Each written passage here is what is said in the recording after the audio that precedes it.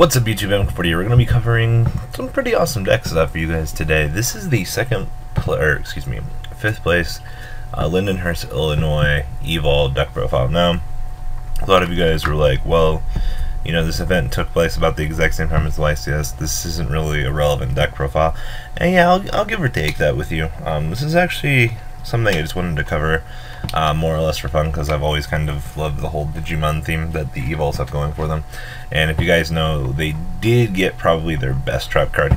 I'll let you target an Evoltile and an Evolsaur monster, uh, so summon one evil Evolsaur XYZ monster from your extra deck, and those materials transfer onto the new monster. So access to Solda, Laggia, and Dolkka, all for pretty much free. Um, pretty much the final card that brought the deck basically what it needed. And did I mention that it's a chainable trap card? So if you have to play against this deck, I feel kind of sorry for you, uh, but it's just Laggia Dolkka spam uh, to slow down your opponent. So this deck will be available on Dropbox uh, for those of you that wish to download it.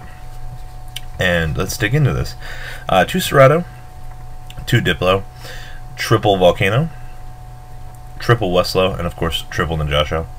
Uh, their spells, uh, triple diversity, triple evil force, one book of the moon, two econ, two lance, triple MST, triple duality, and one of soul charge. His traps, bottomless, triple breakthrough, one compulse, triple singularity, and one solemn warning. His extra deck, dun, dun, dun, dun, uh, one Mechquipped Angineer, one Nevier, one Dweller, Emerald, Exciton Knight, Zenmeister, the two 101s, two Dolkka, King of the Feral Imps, two Laggia, uh, one card or one cannon form armor.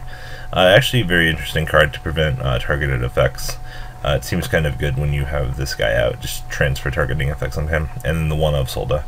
The side deck, one Thunder King, one Dyna, two DD Crows, two Veiler, one Prohibition, one Dimensional Fissure, one Transmigration Prophecy, one Dustrino, two Light Mirror, one Soldiering, and two Shadow Imprisoning Mirror brings us to a close in this deck. So, there's not really much to say about this. Uh, the deck still combos up the exact same as it has for the last hundred years. Uh, still a really, really, really fun deck uh, to play, and especially if you're a casual player um, looking for a cheap deck. I would recommend that this probably be one of your considerations um, to just have fun. So guys, I'm out.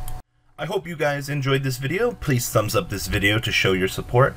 And please check out VanKohl40 for Cardfight Vanguard, MKohl Games for miscellaneous trading card games, and No Limit Gaming for a brand new series of Yu-Gi-Oh videos. Thanks for watching.